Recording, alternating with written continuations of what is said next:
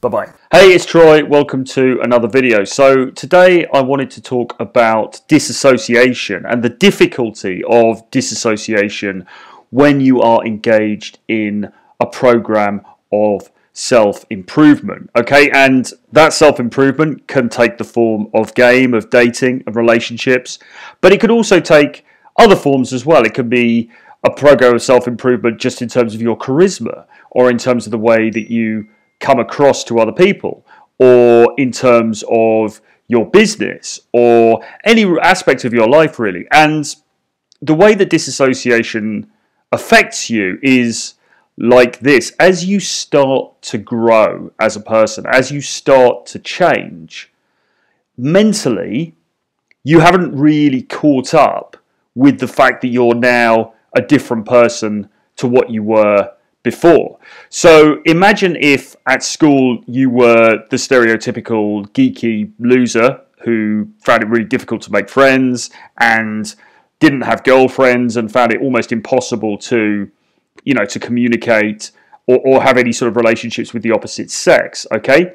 If you were that sort of person, then say you undergo a long and rigorous period where you really engage in self development. You work on your mindset. Sorry, my phone keeps binging. Um, you work on your mindset, okay? You work on your socializing skills. You work on your charisma. You work on your presence.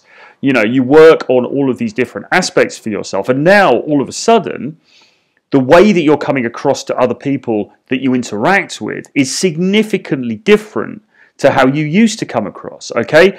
And as a result of that, what's happening is that now people are reacting to you in a different way to how they were before. Whereas before, because of the way that you were, you'd have come across as very lifeless and dull, and people would have, as a result, not really engaged with you or not taken you seriously or not wanted to sort of converse with you for, for any length of time. Now all of a sudden they're smiling when you approach because they can feel that positive energy coming off you. They once you're in a conversation with them, they want you to stay. They think because of the way you put yourself across that you are something special. They think that you're a big deal because you've learned those charisma skills. Maybe you've been in Charisma and Dating Academy. Um, and you've built up this sort of persona. And so they now regard you very differently to how people would have regarded you before. Now, all of a sudden, they see you as something more than you imagined yourself to be. Because remember, you're still stuck in that previous mindset. You're still stuck in that image of yourself, that subconscious image of yourself as being that guy who was unpopular, that guy who couldn't make friends, that guy who couldn't express himself fully in front of other people.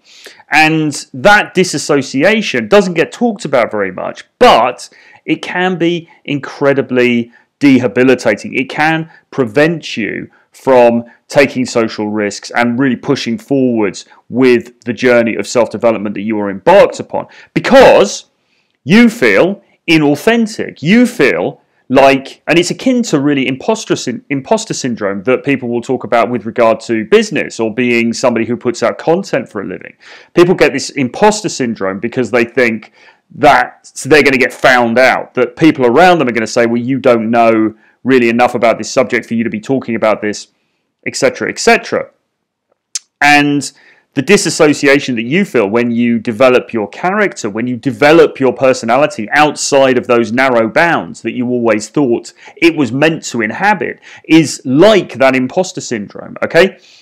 But here's the deal there is no limit to where your personality can take you. There's no, there, there isn't a, a perimeter around your personality, and if you step outside of that, then some imaginary police force turns up and arrests you for doing that, okay? You can take your personality as far as you can stretch it, okay? There are no boundaries. There is no there is nothing preventing you from changing entirely in terms of the way that you come across to people. You're perfectly at liberty to do that. That is your right as a human being, okay? Um, and actually, some of the most boring people on the planet are the most consistent and rigid people. You know, if you've got that sort of sense of agility and nimbleness about you.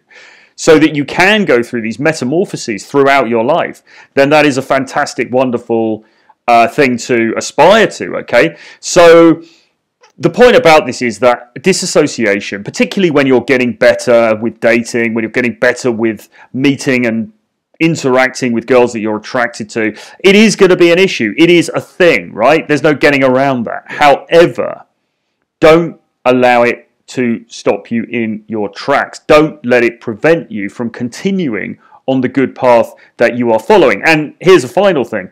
If you're feeling disassociation, then actually that indicates that you are doing something right because otherwise, if you were just stuck in your old personality and you weren't changing by going out, by taking action, by talking to girls that you're attracted to, by paying compliments, by being flirtatious, by pushing forward, asking for a phone number, uh, setting up dates, and so on. If you weren't doing all of that stuff, then you'd still be in your old comfort zone and you wouldn't be feeling that disassociation. So, disassociation in itself is not a bad thing. Actually, it's a very good thing. Just learn to push through. To disregard any voices in your head that are saying, "Oh, I shouldn't be doing this. I'm, I'm acting somehow out of turn, out of character."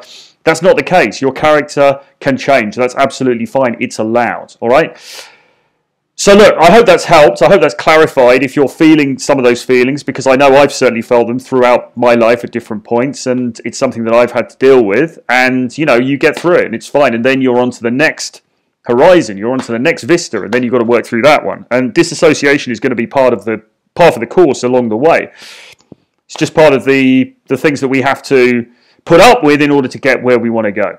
Anyway, listen, Renegade Dating Domination, which is my two volume collection of articles, essays, it's 400 pages worth, over 150 articles, two volumes. It's out now and it's currently on sale for 25% off. So if you're watching this on Friday, the 19th of June, then until midnight EST tonight, you can still get the collection of two volumes uh, for that reduced price of 25% off. So do click the link below to get that. Um, and even if you're watching this after June the 19th and that discount is no longer in place, please do check out Renegade Dating Domination. It's some of my best work from the last five years. It's absolutely crammed with content like this, uh, in text form all about dating, about game, about the dating marketplace, etc., etc.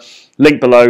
Please do subscribe to my YouTube channel. It really helps me to spread the word, get more subscribers on board, keep putting out this free content for you. And beyond that, I will see you guys again very soon. Bye bye.